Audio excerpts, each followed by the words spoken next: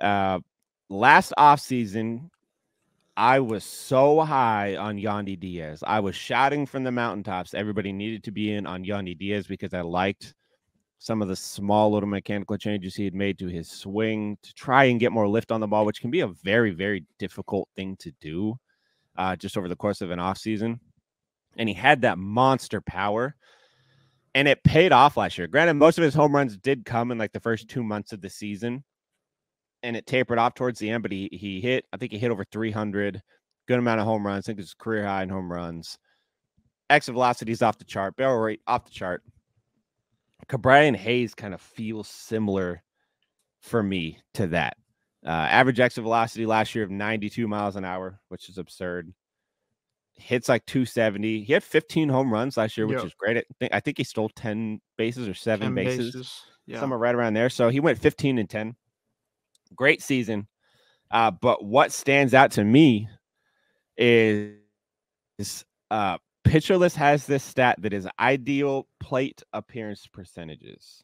Uh, it takes a player's barrels, their solid contact, their flares and burners, and then divides it by their plate appearances it has turned into something that the more I dive into it, the more I am convinced it is like a magic, like a magic crystal ball for seeing into a points league's future.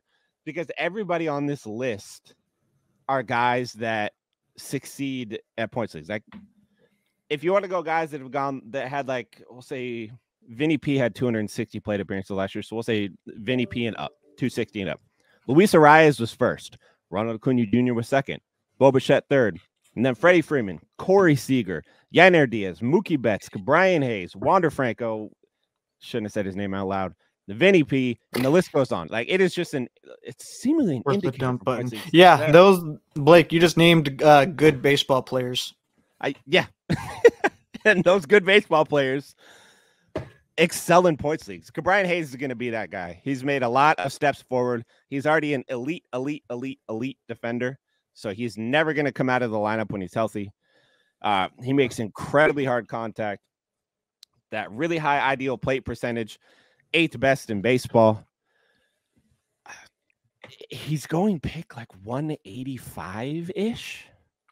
Dude, he he has potential. Like I'm not even potential in points leagues. I think he's a top 12 third baseman in points leagues. So to get him in, I I'm bad at math. I'm just gonna go ahead and say like the 15th round. To get him like the 15th round, hard. That's that's good. Like being able to wait on a guy like that is is great. So Brian Hayes is gonna be my my pick.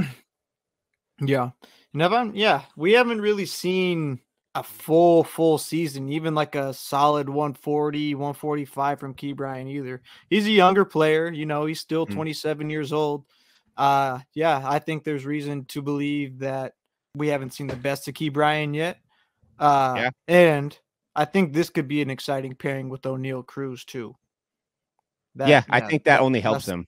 Yeah, for sure. That sounds like a fun left side of the infield for sure.